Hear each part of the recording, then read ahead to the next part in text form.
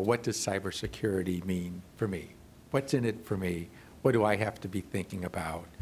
Um, and I just want to address just a handful of the issues that impact uh, individual users. Um, what's in it for you? It's about whether you can communicate privately with another person. It's about whether you can engage in financial transactions, you know, whether you'll be able to um, use your bank account online or whether um, you won't because the bank can't trust who you are and you can't trust that the bank is really your bank. You know, that the thing that looks like a bank is really your bank. Um, it's also about preserving this open, free internet that we have and that we've learned to value so much nowadays. You know, it, it didn't used to be the case that you could be sitting at your computer at home and get a view of the Great Wall of China live. I mean, it didn't used to be that you could do these things. We, we live in a, a really a wonderful world today that, that we're only beginning, I think, to appreciate and, and to understand what it would mean if some of it was taken away. And really, cybersecurity is about preserving these other values. And we have to keep that in mind because as we think about what are the cybersecurity measures that ought to be taken, we don't want to compromise those other values. So, for example, um, one value that's protected by security is free speech, right? You can, you can post anything, you can post it anywhere, um, and one reason you can do that is because security allows you to use the internet freely. So, what are the threats to free speech that might come from security measures? Well, one that um, is a possible threat that we need to think about is, is really um, an effort to be able to find the bad guys. You know, you, you always want to find what human did something bad to another human, right? Uh, but on the other hand, the ability to speak anonymously on the internet is a, is a strong free speech value. It's been recognized by the Supreme Court, particularly in the political context. And just think about what um, some people think, you know, anonymous speech is the downfall of the internet, right? It's because people don't have to be responsible for what they say.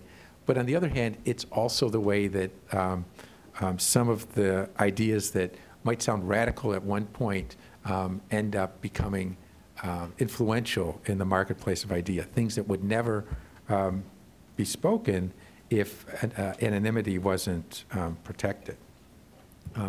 where, where we come out on the uh, notion of authentication and anonymity, um, it seems that uh, a lot of what the government is doing is on the right track. This idea that as the um, interaction or transaction becomes of higher risk, then you can require more levels of authentication, more certainty that the person who is engaging in the transaction is who they purport to be.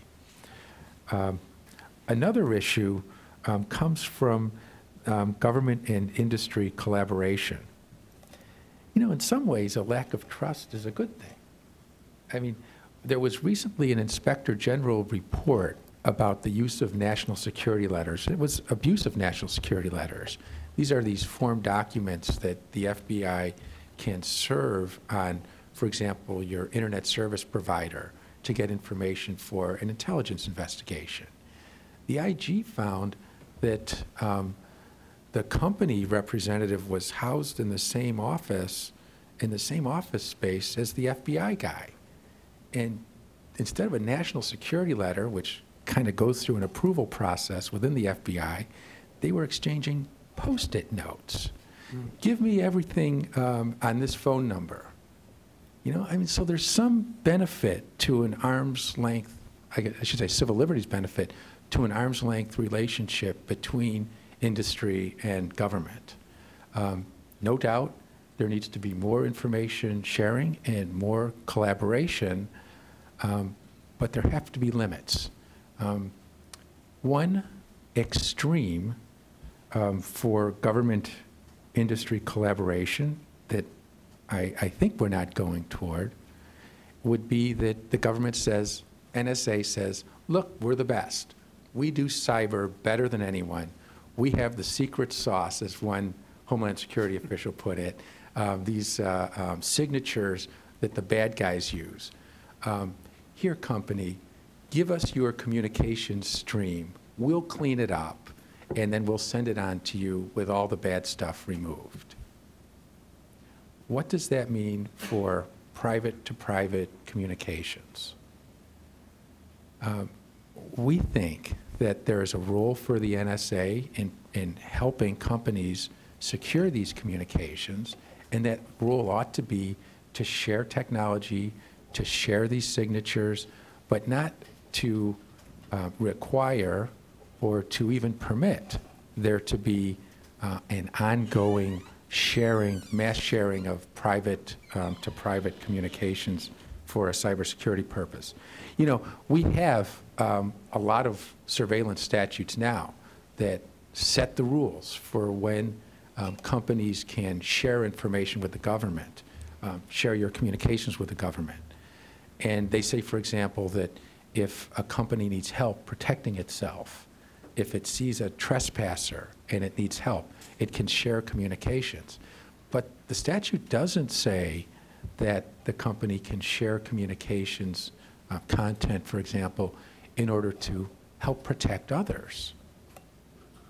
Well, I think that it might be necessary for there to be a very limited amendment to the surveillance laws to permit that kind of important sharing of information, but it needs to be carefully um, thought through, and I think it needs to be um, very limited. Uh, One more thought, and then I'll close, and that's uh, the need for transparency. Um, A lot of the cybersecurity efforts necessarily have to take place behind the scenes, um, but I think that openness is one key to a successful program. It builds public trust, it helps companies know what's happening to the information that they share, and might make them um, more comfortable with the sharing of information.